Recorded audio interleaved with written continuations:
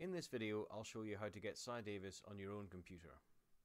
As it says on its own website, SciDavis is a free interactive application aimed at data analysis and publication quality plotting. And it's actually the tool I use for this. In this video, I'm going to show you how to download SciDavis so you can install it on your own computer. Note, if you're using a university computer, go to the Software Hub instead of using this guide. If you're using a computer and you have difficulty installing SciDavis, then log on to the virtual PC, find the Software Hub there, and use SciDavis from within that. In a web browser, search for SciDavis.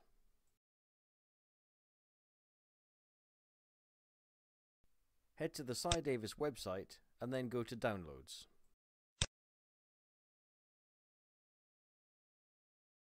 You can download SciDavis for a variety of different operating systems. Download the installation file from this link. And as with all internet activities, make sure your antivirus software is up to date and that you're installing the real software.